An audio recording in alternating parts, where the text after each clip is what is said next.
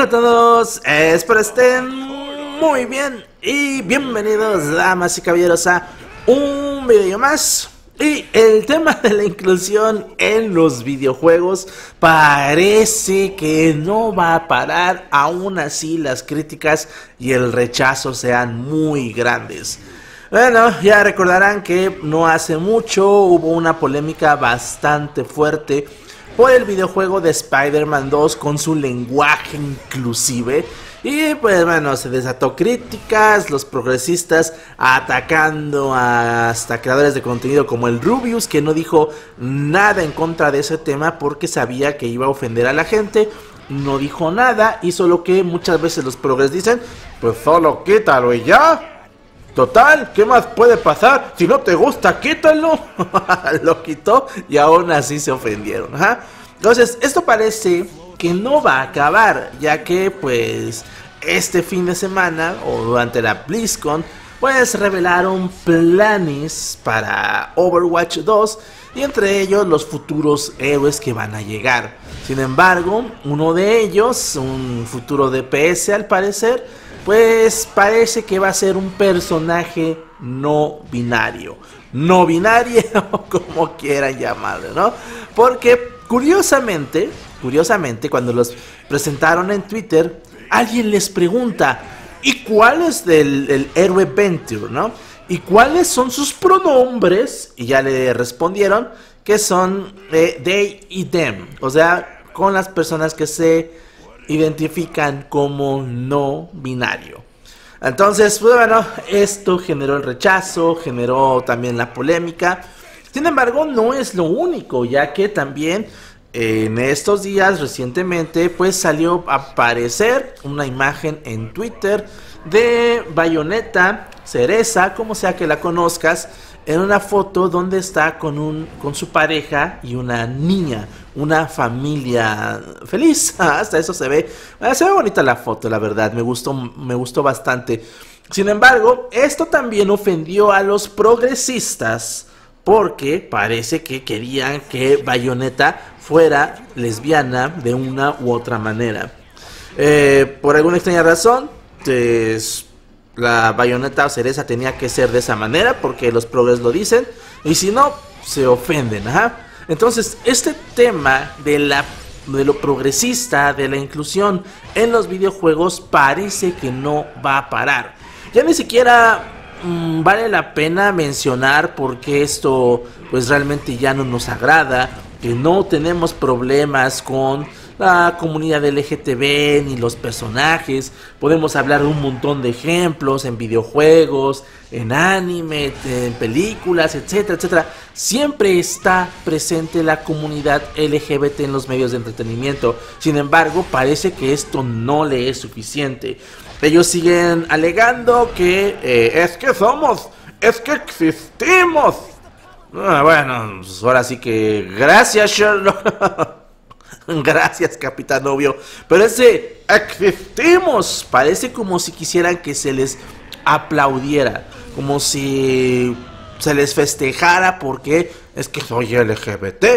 Ah, ok, no, pues lo, normal sería pues, chido, ¿no? Ahora sí que es tu bronca. Pero no, parece que quieren que se les reconozca, aplauda y alabe. Porque pues el espacio ya lo tienen en, series, videojuegos, etcétera, como le estaba mencionando. Sin embargo, siguen con lo mismo, siguen en la misma postura y por más que yo, mucha gente dé su opinión en internet diciendo que no es un problema la comunidad LGBT ni la inclusión, sino la manera en cómo lo están haciendo, no lo entienden, lo ven como un ataque, se ofenden y te vamos a cancelar, te vamos a funar por no darme la razón, eres intolerante. Sí, sí, sí, lo que tú digas, ajá. Eh, por ejemplo, ahora con esto de Overwatch, el nuevo héroe no binario, pues cuáles son las reacciones. Les voy a leer así como están, ajá. Uno, dice, con razón tiene pocos jugadores, refiriéndose al juego. Otro, ojalá eh, complacer a Progress alcance para que su juego sea un éxito. Y no, eso no lo va a llevar al éxito. ¿Y qué, y, qué hace? ¿Es más fuerte o una habilidad especial? O sea, dando a entender ¿qué sentido tiene esto de que sea no binario? O sea, ¿qué importancia tiene? Ajá, otro pone, ah, ok, ajá. Dice, esto no hará que se libre de la Rule 34. bueno, es Overwatch.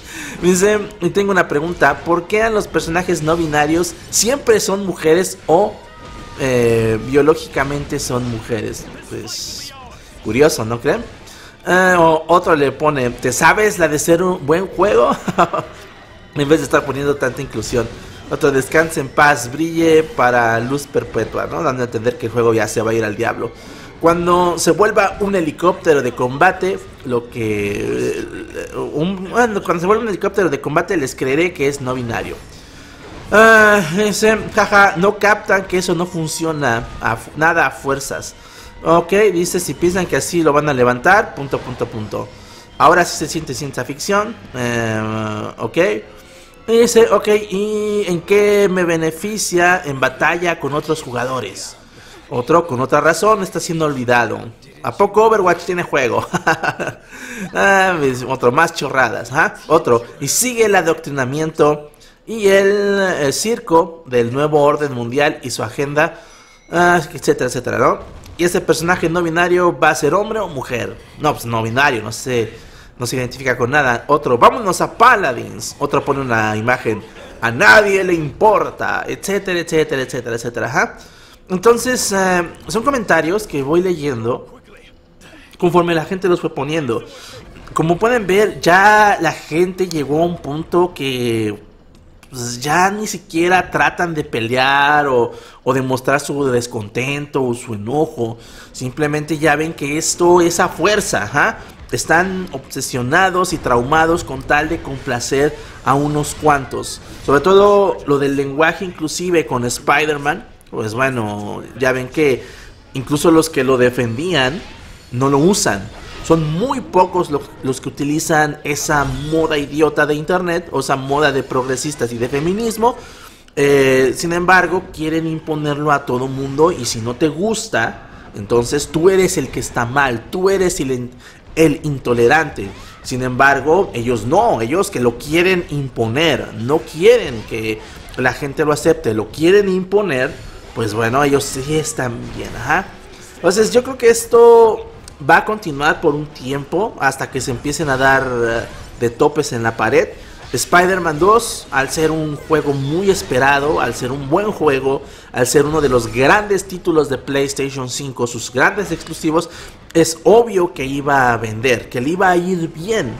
Sin embargo, ahora que hasta están hablando que Wolverine, otro título grande que esperan los usuarios de PlayStation, va a estar en el mismo universo y no sé si hasta ahí que los mismos guionistas, esto no lo quiero afirmar, pero creo que tengo la idea de que por ahí lo vi, pues eso nos dice que puede que vayan a ir exactamente por el mismo rumbo, ya que Spider-Man 2 sí vendió bien, pero no vendió bien por la inclusión, vendió bien por ser Spider-Man, por el juego, por la reputación y lo bueno que fue el juego anterior, el DLC de Miles Morales, etc. Pero eh, ellos creen que esa inclusión ayuda a que los juegos tengan más diversidad cuando es una verdadera estupidez. La diversidad, la inclusión, la aceptación, lo que quieran, se puede incluir pero de manera natural, no anunciado a los cuatro vientos, como ahora en el caso de Overwatch. Qué curioso, ¿no? Que alguien les pregunta, anuncian un nuevo héroe y cuáles son sus pronombres. Ya, ya con eso quieren anunciar que es no binario cuando antes en Overwatch y lo que lo llevó a hacer algo grande algo importante. Era desde el propio juego, pero sus cortos animados, el lore que del juego, eso fue lo que lo hizo grande. E incluso ya muchos que me conocen saben que yo detesto al personaje Genji, bueno, en el juego por la gente, ¿no? Que son muy cobardes y atacan y huyen, ¿no? Me choca ese personaje. Sin embargo, siempre les he dicho que por el lore, por la historia, por el corto animado con su hermano, el personaje me cae bien, o sea, me parece estupendo. Muchos personajes con sus eh, cortos animados realmente les agarrabas cariño, los entendías, ya de por sí son tus main y ahora pues hasta los adoras todavía más por la manera en cómo abordaron la historia. Sin embargo, parece que eso ya se está perdiendo. eh, ya el último de Mauga, creo que ese se llama el nuevo héroe. Su historia muy corta, sin, tanta, sin tanto empeño, no como antes. Y ahora en vez de que te emocione el personaje, pues, ah, ok, o sea, sí, ya vi que es un loco que dice que se divierte, ah, ok, ¿no? Pero ya profundizar en una, una historia más trabajada, no, ¿para qué, no? Ahora pues vamos para llamar la atención, vamos a decir que tenemos un personaje no binario para que todo el mundo hable de nosotros, el juego eh, la gente se enoje por este tipo de inclusión forzada y pues al rato que estén terminando fracasando, tanto este juego como otros, o no crezcan como pudieran, porque lejos de que la gente pues se emocione con el juego, con la historia, simplemente me dicen, ah, es que, es que se viene un nuevo héroe no binario, y si no lo aceptas, y si no lo aplaudes, es que tú eres un intolerante, la gente va a decir, ¿sabes qué? Vas y chingas a tu madre, no me vas a imponer ideas tuyas simplemente porque tú lo dices. En vez de que metas este tipo de situaciones de una manera natural.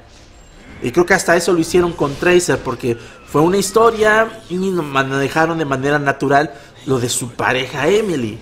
Sin embargo, a raíz de ahí empezaron a meter tanta estupidez desde LGBT con Soldado 76, con, con Farra, eh, se mencionaba que hasta Lucio lo querían hacer LGBT y ahora pues no, vamos a saltar directo al no binario y con eso nos van a aplaudir.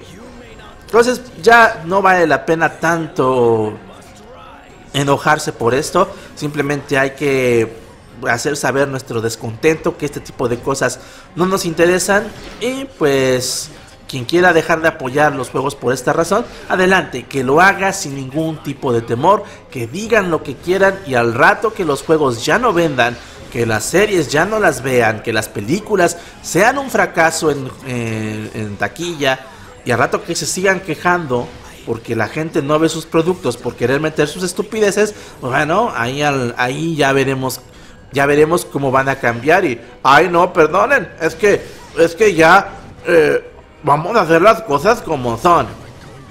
Y como siempre he dicho, no sé por qué para los progresistas, para los LGBT, bueno, no todos obviamente, ¿no? Las, los extremos, ¿por qué para toda esa gente la sexualidad parece que es lo único que vale la pena en la vida? Que es lo único que les da identidad. Es, es triste ver que haya personas así, que solo su identidad sexual es lo único que les interesa y ahí el resultado. Pero bueno, con eso termino. Díganme qué opinan de todo esto. Muchas gracias y nos vemos en otra ocasión.